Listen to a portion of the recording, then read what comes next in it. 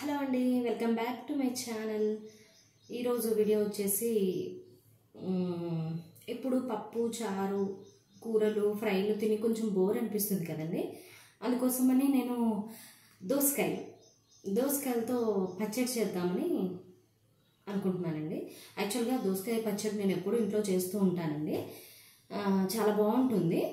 ఇది ఏంటంటే దీన్ని అసలు ఏది వాడకుండా మనం ఎక్కువ ఇంగ్రీడియంట్స్ అవసరం లేదు. ఓన్లీ కారం ఉప్పు వేసుకొని దీన్ని పచ్చడిలాగా చేసుకొని పోపు పెట్టుకున్నామంటే వేడి వేడి రైస్లో తింటే చాలా బాగుంటుందండి.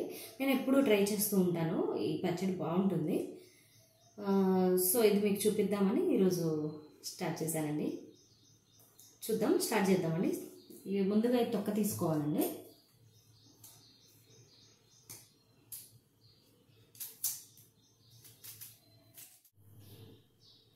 సో వీటి తొక్క తీయడం అయిపోయిందండి. నెక్స్ట్ వీటిని చిన్న చిన్న ముక్కలుగా కట్ చేసుకుందామండి. వీటిని గింజలతో పాటే తీసుకోవాలండి. గింజలు వేసి చేస్తేనే ఇది చాలా బాగుంటుంది టేస్ట్. యాక్చువల్గా పచ్చళ్ళన్నీ మనం మిక్సీ చే మిక్సీలో వేసేస్తాం కదండి. మిక్సీలో వేసే పచ్చళ్ళు అంత టేస్ట్ రావండి. ఏదో మనకు టైం లేక ఆ రోట్లో చేసుకోలేక మిక్సీలో వేసుకుంటాం కానివ్వండి అది అంత టేస్ట్ ఉండదు. దానికోసం నేను ఇప్పుడు ఈ చట్నీ అయితే అసలు మిక్సీలో వేస్తే అస్సలు బాగుండదండి. ఎందుకంటే ఈ గింజలు ఉంటాయి కదా గింజలు మొత్తం మెత్తగా అయిపోయి టేస్ట్ అంతా డిఫరెంట్గా వస్తుంది. దానికోసం నేను దీన్ని రోల్లోనే చేస్తాను. రోల్ అంటే పెద్ద రోల్ ఏం కాదు ఒక చిన్నది ఉంది. దాంట్లో చేసేసుకుంటాను కొంచెమే కాబట్టి దాంట్లో చేసేసుకుంటాను. మీ దగ్గర పెద్దది ఉంటే పెద్ద దాంట్లో చేసుకోండి. మీరైతే తప్పకుండా ట్రై చేసి చేసి చూడండి. చాలా బాగుంటుంది ఈ చట్నీ. చాలా టేస్టీగా వేడి వేడి అన్నంలో వేసుకొని తింటే చాలా టేస్ట్ ఉంటుందండి. చూడండి టరోలు చూపిస్తాను. ఇదిగోండి నేను దీంట్లోనే చేసుకుంటాను ఇప్పుడు. ఇందులో ఇప్పుడు ఈ దోసకాయలు వేసుకొని చూపిస్తాను చూడండి. కొంచెం కొంచెం. ఇది చిన్నది కాబట్టి నేను కొన్ని కొన్ని వేసుకొని దంచుకుంటానండి.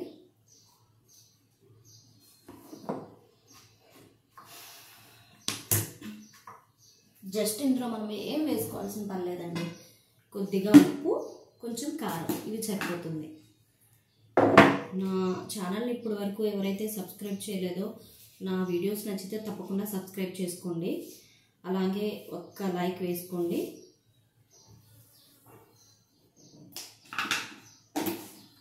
కొంచెం కారం అంటే మనం తినగలిగేంత కారం దానికి సరిపడా ఉప్పు.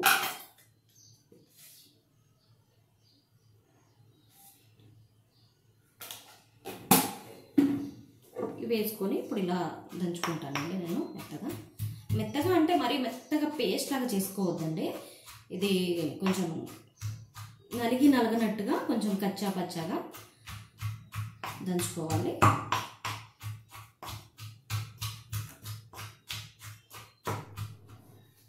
సో ఇదిగోండి చట్నీ అయితే దంచేసుకున్నాను మంచిగా నలిగిపోయింది. దోసకాయలు అయితే మంచిగా నలిగిపోయాయండి. నెక్స్ట్ వచ్చేసి మనం దీనికి పోపు పెట్టుకుందామండి వచ్చేసి నేను ఇక్కడ పోపు పెట్టేసుకుంటున్నానండి. ఆయిల్ వేసుకున్నాను దానికోసం. ఒక రెండు స్పూన్ల ఆయిల్ వేసుకోవాలి. నెక్స్ట్ వచ్చేసి కొంచెం రెండు ఎండుమిర్చీలు ఒక రెండు వేసుకుంటున్నానండి. కొంచెం ఆవాలు వేసానండి. పోపు ఎలా పెడతామో మీకు తెలుసు కదండి. సేమ్ అలాగే ఆ ప్రాసెస్లోనే పోపు పెట్టుకోవచ్చు. ఆ, కొంచెం వెల్లుల్లి వేసుకుంటున్నానండి దంచిన వెల్లుల్లి.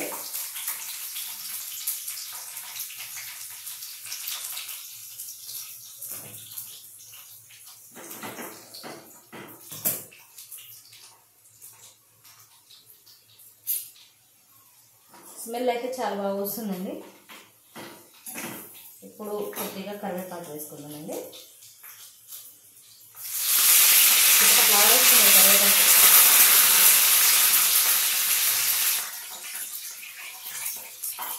పోపు మా మంచిగా పోపు వేగినప్పుడు ఈ మన చట్నీ ఉంది కదండి దీన్ని తీసుకొని ఇందులో వేసుకుందాం.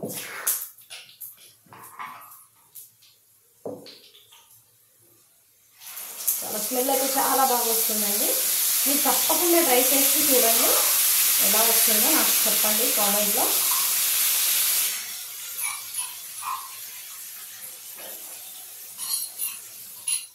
ఫైనల్గా చట్నీ అయితే రెడీ అయిపోయింది. దాని లుక్ ఇలా వచ్చింది. చూసుకోండి. చూడండి చాలా బాగుంటుందండి. టే ట్రై చేసి చూడండి మీరు కూడా. సింపుల్గా ఇన్స్టాంట్ ఇన్స్టాంట్గా మనకు కారంగా ఏదైనా పచ్చడిలాగా తినాలి అనిపిస్తే దీన్ని దీన్ని ట్రై చేయొచ్చండి. చాలా బాగుంటుంది. ఓకేనండి. నా వీడియోస్ మీకు నచ్చితే తప్పకుండా లైక్ చేయండి సబ్స్క్రైబ్ చేసుకోండి షేర్ చేయండి. మళ్ళీ మంచి మళ్ళీ మరొక మంచి వీడియోతో మీ ముందుంటానండి. అంతవరకు బాయ్ అండి.